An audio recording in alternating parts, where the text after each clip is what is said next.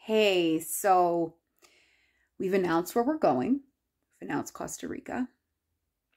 But um, it would be unfair to you guys if we just showed you the, or not showed you, but rather just talked about the really exciting things and the things that are so amazing and oh, so much fun. I think we'd be doing a disservice if we didn't get real and raw and talk about the uncomfortable things about picking up and selling it all and leaving your family, taking your family to a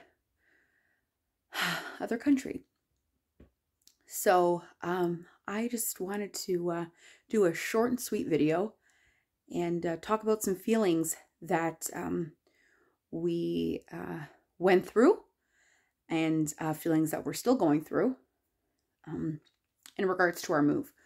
So, I mean, look, there are a lot of people in our lives that um, we are going to miss tremendously. And it hurts and it's uncomfortable and it's scary. And we cry. I mean, I cry. Um, and some might ask, why are you doing this then? Why are you doing this then if it's so painful? Well, the truth of the matter is, I think I would regret and it would hurt more and I'd be more uncomfortable and scared if I actually stayed here in my comfort zone. So I'm reading a book. It's called You Squared by Price Pritchett. And I highly suggest anyone that is interested in making a quantum leap, check out this book. Quantum leaps you cannot explain we think that when we want to achieve something great, we have to go through steps beforehand to get to that quantum leap. Truth is, no. You have no idea how you're going to do it. You don't worry about the how, but you act from the place as though you have already achieved it. All the success that you want.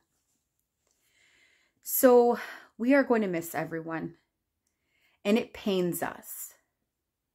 But what I also refuse to do now is be quiet about my excitement, our excitement, and feel less shame because I sometimes don't talk about Costa Rica because I don't want to make people feel uncomfortable. I don't want to talk about how excited we are. But it stops today and it stops now. Because let's face it, those people that are struggling, have a hard time with what they're doing right now, don't know what they want to do, don't have the clarity or the strong enough vision, um, when when when news like this is presented to them it's like well why would you do that? Like what do you mean? And they and they they just can't wrap their heads around it. And i mean no one's at fault. I just want to talk about this kind of stuff because yes, you'll see us moving. You'll see this. You'll see that. You'll see us at the storage unit. You'll see like the kids talking about Costa Rica. You'll, but I mean, guys, there's a lot of emotional stuff happening behind the scenes. Um, and and and also the truth too is there's a lot of tests along the way, and there's a lot of chaos. And that's how I'm feeling right now. I'm feeling so chaotic. But going back to that book, You Squared, when you are going through a quantum leap, there is chaos and disorder. And sometimes you might stop and hit the terror barrier, which is that wall, and it'll make you stop. Nah, it's getting too hard. It's getting really uncomfortable. It's getting too hard. No, it's when you got to push harder, push through that wall. That's it. Just know that, yes, we are super excited to go, but also know that we are humans and we're emotionally going through a huge change.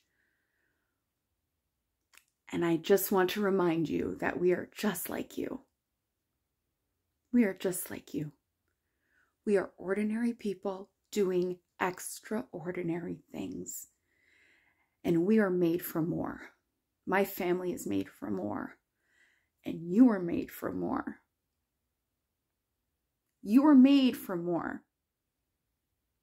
A lot of us attach ourselves to companies. A lot of us attach ourselves to careers and our titles. Attach yourself to a purpose. Attach yourself to your vision, the greater good. Always with so much peace, love, and light. Till next time.